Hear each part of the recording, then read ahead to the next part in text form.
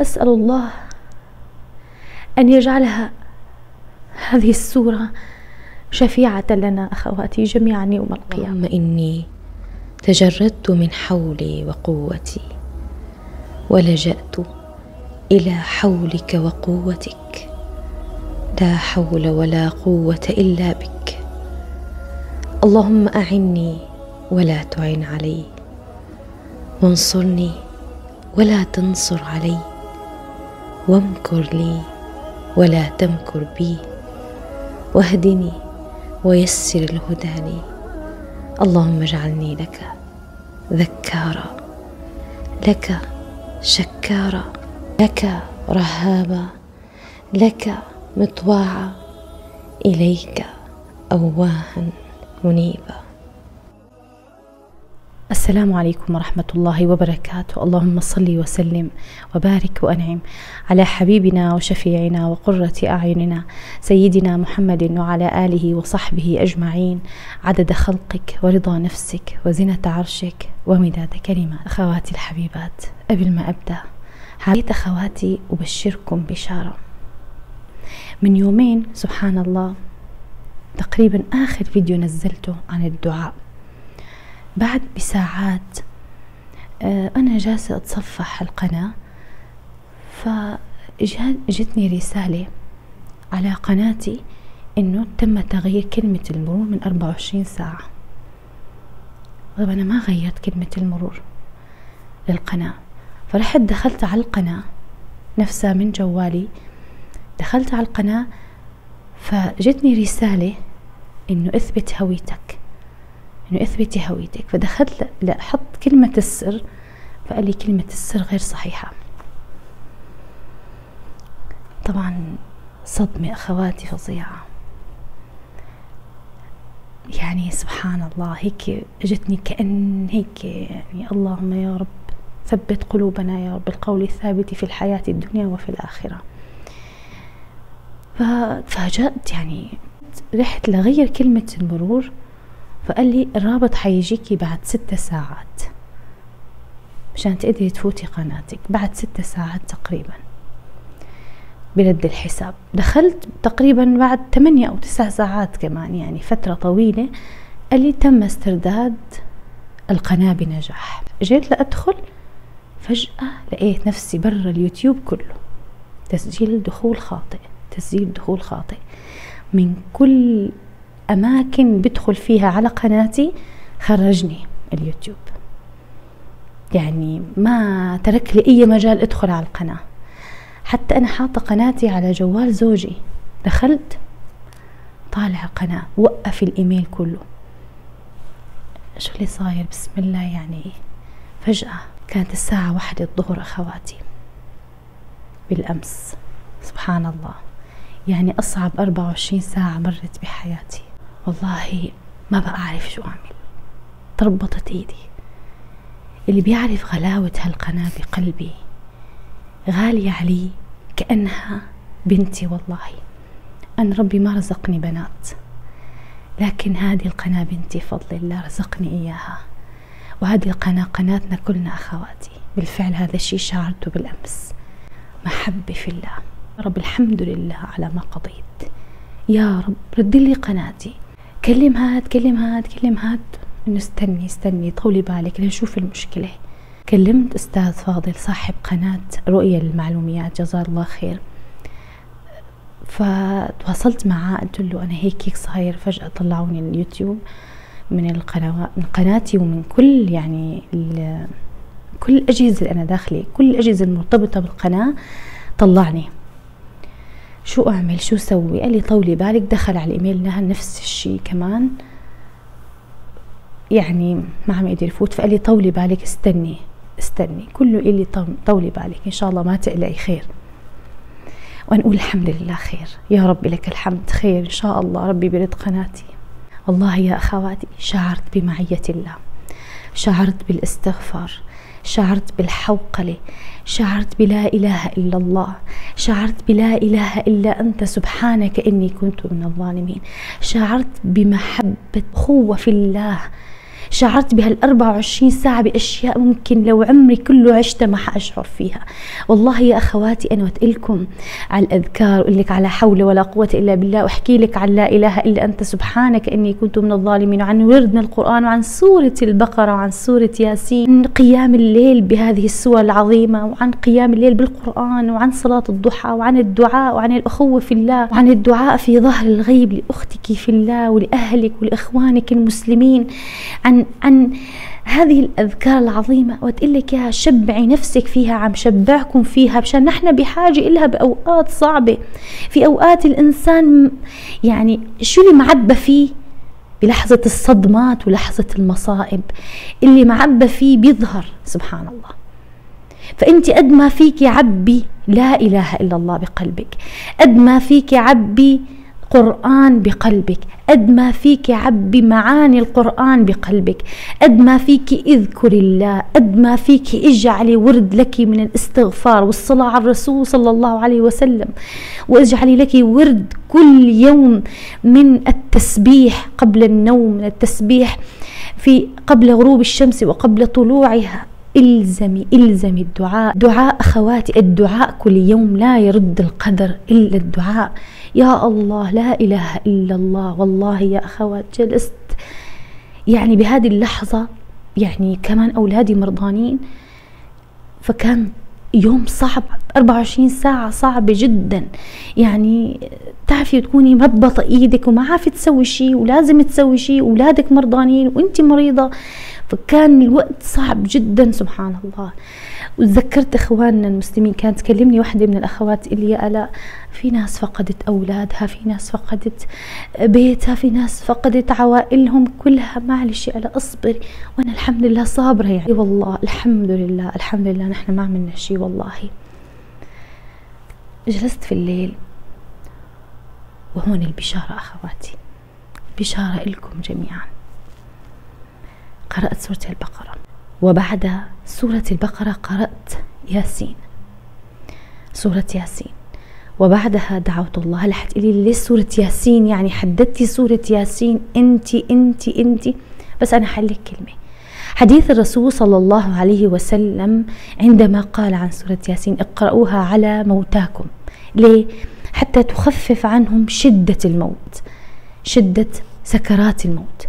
فالعلماء عندما قالوا عن أن لم كما أن للموت شدة فللحياة شدة فتقرأ عند الشدائد عند الشيء الصعب. فخلصت سورة البقرة سورة ياسين دعوت الله بهذا الدعاء. قد ما أثنيت على الله سبحانه وتعالى بأسمائه وصفاته وصليت على الرسول صلى الله عليه وسلم وذكرت الله كثيرا. وأثنيت على الله باسمه الأعظم. اللهم إني أسألك بأني أشهد أنك أنت الله. لا إله إلا أنت الأحد الصمد الذي لم يلد ولم يولد ولم يكن له كفوا أحد. يا حي يا قيوم يا ذا الجلال والإكرام. يا الله يا الله. مجيب دعوة المضطرين. يا رحمن الدنيا والآخرة. ودعوت الله بعدها بهذا الدعاء. اللهم إن كنت تعلم أن أن قراءتي لسورة البقرة والمداومة عليها أنا والأخوات اللي معي في هذه القناة. اللهم إن كنت تعلم أن هذا العمل خالصا لوجهك الكريم فرد لنا هذه القناة ردا جميلا. اللهم رد لنا هذه القناة ردا جميلا. أسأل الله أن يجعلها هذه السورة شفيعة لنا أخواتي جميعا يوم القيامة. وصليت على الرسول. وبعدين جمعت كفي. هكذا. ونفثت في يدي ثلاث مرات. ثلاث مرات نفثت في يدي ومسحت على ما استطعت من جسمي. ونفثت على الماء وشربت منه. حسيت بصبر. والله هذه السورة عظيمة. تعطيك الصبر. في قلبك صبر الهدوء لأنه القلق والخوف والجزع ما يفيد أخواتي. اللجوء إلى الله والصبر والتصبير. تعطيك الصبر سبحان الله هي 286 آية وثلاثة أجزاء. الجلوس عليها ما هو سهل. 49 صفحة. سبحان الله يعني فعلا يعني المداومة عليها تعطيك الصبر. على مصابك. تعطيك الصبر على كل شيء بتشعري فيه وتحمد الله وترضي. ترضي بالله الله كتبه وتحمد الله كثيرا. سبحان الله أعطتني صبر عجيب عجيب. سبحان الله تحمل لكل شيء. حتى الظروف اللي أنا ماشي فيها أخواتي ظروف صعبة جدا. أمر فيها. سبحان الله الصبر أعطتني قوة أعطتني نور. والله أشعرت بنورها. شعرت بنور سورة البقرة. وهذا الشيء أكيد كثير من الأخوات معنا وكثير من يواظبوا على سورة البقرة ويلتزموا فيها. بيشعروا بهذا النور. بيشعروا بهذا النور. والله والله يا أخواتي يعني أنا بحلف لك بالله وأنا صادقة إن سورة البقرة نور في الطريق ونور وخير كبير بركة عجيبة. قرأتها بإيمان ويقين وصبر وتحمل ورجاء من الله أن يغفر لك ورجاء من الله أن أن يكرمك ورجاء من الله أن يعطيك. قول يا رب أكيد ما حصل هذا الأمر إلا خير كبير. عسى أن تكرهوا شيئا وهو خير لكم كما وصل إلى آية وإذا سألك عبادي عني فإني قريب. أجيب دعوة الداعي إذا دعان. فليستجيبوا لي وليؤمنوا بي لعلهم يرشدون. يا الله عندما وصلت لهذه الآية رفعت يدي إلى الله. وسألت الله. بعد هذه الآية في هذه الآية وأنا أقرأ الآيات رفعت يدي إلى الله وسألت الله. أن يرد هذه القناة ردا جميلا. شعرت بمحبة محبة في الله. شعرت فيها. تكلمت الأخوات معي وقلت لهم ادعوا لي قناة ترجع لنا. ادعوا القناة ترجع. فكل الحمد لله. الله يسعد قلوبهم. دعوا. شعرت بدعواتهم والله. سبحان الله اليوم الظهر أخواتي بكلم واحدة كمان من الأخوات الغاليات علي. إلا أمي رحيمة مثل أمي بحسها سبحان الله أمي رحيمة الله يخليك. ادعي للقناة. الله يرد إلي ردا جميلا. الله كان وقت عندها ضحى وقت الضحى. فقالت لي أنا هلأ حادعي لك يا آلاء أدعي لك يا بنتي حادعي لك. الله يرد لك. قناتك وأنا بوقت الضحى. سبحان الله هي رايحة تصلي الضحى وأنا سبحان الله رسلت لها الرسالة. قلت لها بالله أمي رحيمة لا تنسي القناة. هي لي الله يرد لي إياها ادعي الله يرد لنا إياها هي قناتنا كلنا. فسبحان الله.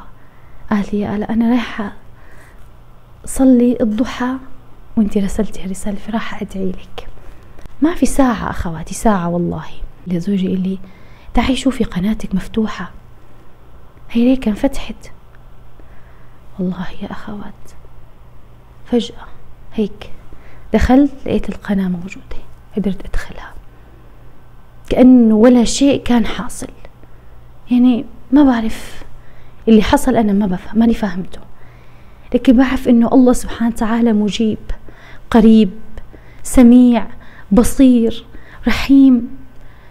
لا يرد عبده والله خائبا بإذن الله. الدعاء أخواتي سلاح سلاح. والدعاء المؤمن لأخيه المؤمن. الدعاء بعد سورة البقرة مستجاب أخواتي. الدعاء مستجاب بإذن الله. الدعاء في الليل الاستغفار الحوقلة. لا إله إلا أنت سبحانك إني كنت من الظالمين. أخواتي نحن بحاجة إلها الآن. الأمة في كرب أخواتي. في كرب شديد نحن بحاجة لذكر الله. فاثبتوا واذكروا الله كثيرا لعلكم تفلحون. بدك الفلاح بدك النجاح بدك السعادة بدك النصر بدك الفوز. اذكر الله كثيرا. بدك ربي ينصر المسلمين ويجبرهم. وهذا واجبنا أخواتي. اذكر الله كثيرا وادعوا الله كثيرا. كثيرا أخواتي. تقولي شوي ويلا بعد كل صلاة مكتوبة. أوقات الاستجابة بعد ما تقرأي القرآن. اسأل الله صدقي حطي صدقة. صدقة أيها أخواتي قدموا بين يدي نجواكم صدقة. ضعي صدقة. حتشوفي بإذن الله نتيجة سريعة بإذن الله حتشوفي خير كبير بإذن الله جبر من الله. والله ترين الجبر من الله. احسن الظن بالله. واصبري واحتسبي الأجر واثبتي واذكري الله كثيرا لعلك تفلحين. يا رب العالمين جميعا يا رب العالمين نصرا للمؤمنين عاجلا غير آجل. يا رب يا رب نسألك الثبات في القول الثابت في الحياة الدنيا وفي الآخرة. جميعا يا رب العالمين وكل من يسمعني الآن وكل من يؤمن على دعائنا يا رب العالمين. واجعل لنا سورة البقرة والقرآن شفيعا لنا يوم القيامة. يا رب العالمين. ويا رب اجعلنا من الذين يستمعون القول فيتبعون أحسنه. ودمتم أخواتي في رعاية الله وحفظه. لا تنسوا مشاركة هذا الفيديو مع من تحبون. عسى الله أن يجعل لكم من كل هم فرجا ومن كل ضيق مخرجا ويرزقكم من حيث لا تحتسبون. ويعطيكم حتى يرضيكم. ويجبركم جبرا يتعجب منه أهل السماوات والأرض. يا رب العالمين أحبكم في الله أخواتي وأتمنى لكم الخير دائما. لا تنسوني من دعائكم وأنتم دائما في دعائي. سبحانك اللهم وبحمدك أشهد أن لا إله إلا أنت أستغفرك وأتوب إليك. السلام عليكم.